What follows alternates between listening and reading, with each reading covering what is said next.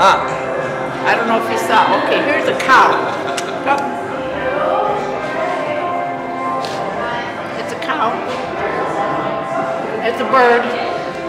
that's great. You don't see it? No. I mean, I see them once you point them out. Okay, yeah. You see the leg, the head, Yeah. the body? No, absolutely. No, I mean, I, I see them when you point Okay. them to me. Yeah. Well, that's what it reminds me of. Yeah. That's pretty neat. That's fantastic. Yeah. And this, like the reflection of the trees in the water. Yeah. Is that what you? Absolutely. Okay. Yeah. Well, then I see what you see. Yeah. Okay. So in this piece, I will tell you one of the philosophies behind this piece is um, so this is painted with carbon. Okay, the black and there's carbon. That's that carbon is sourced from the burning of forests. Right. Yeah. That's what Steve was Okay, telling me. and these different strata that you see in here, for me, is there's this there's always a fundamental question of whether it is what I'm seeing Right. is what you're seeing. Right. Is that Okay. the Aurora Borealis? It could be the aurora borealis. This is very much about aurora, the aurora borealis. Oh, okay.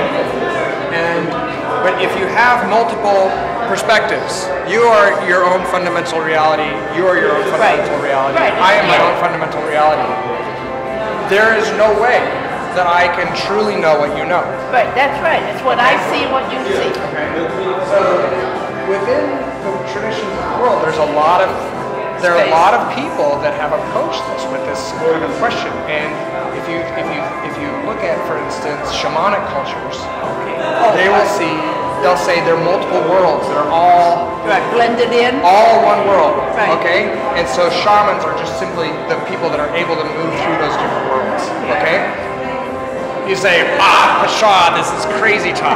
but what are we doing now with our current particle physicists?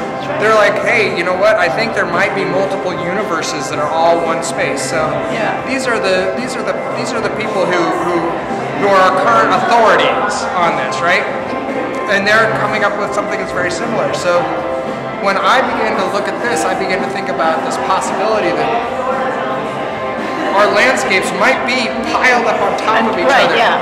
And that what is being seen by me and what is being seen by, By an elk, other- right. what is being seen by maybe a small little flea inside right. of, a, of a moss. Right. They're all there and they're all shimmering and they're And all working together. sees something different. So that's what is happening for me inside.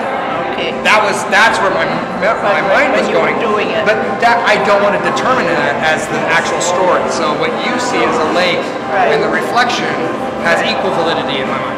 You see the snow on top of the trees? Absolutely, yeah. The fronts. It's neat. And there's a there's a, a an eclipse, a Right, lunar on that eclipse side. chewing up that tree. Right. And that tr- and that circle. Yeah.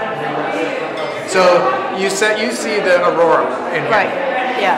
I had, um, when I was working on this project and uh, trying to understand the ecology of forests and, and, and forest fires, because they dominate the West. We have, I mean, Yeah. this year was a terrible Oh, year. very. And very uh, so you try to understand what, what do these things mean? What does it mean when 240,000 acres burn? And everyone says, oh my God, this is horrible, this is a catastrophe.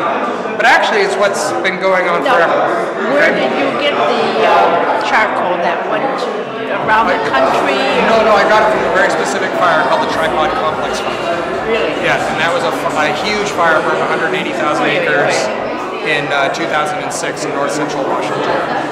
So when I'm working with these forest ecologists, Yeah. what do I learn? I learn the most amazing thing. A mature tree Right. processes 300, 400, 500 gallons of water a day.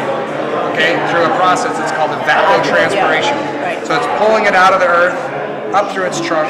It's going out through its needles, its And leaves, and then it's entering Into our atmosphere. and it's been purified by that tree. What's going out there is oxygen and water. Right. So when we look at a big tree in your neighborhood, and you see the leaves that are there, Yeah. What you can't see is the is the invisible part of the tree. Right, that is That's flowing this out. this giant flow that's, That's breathing out, out of of it, the right? tree, yeah. So we say the edge of a tree is the edge of its leaves or the edge of its bark, right? But I think that that's a misunderstanding. I think we need to understand it as the giant plume of water that's expanding And out. enveloping. Yeah. So what I'm painting in there is this idea of this giant plume of breath That's coming that's, out of the coming. trees. It's an invisible plume of breath, and I'm painting it with carbon sourced from the tree itself. It's amazing. So that's the uh, that's uh, another concept that's behind it. It's very, very unique. My son said, "Oh, I don't think you'll like it," but I do. Oh, good. it's good to prove your son so wrong. You know. Well, my oldest daughter was an artist. Oh yeah.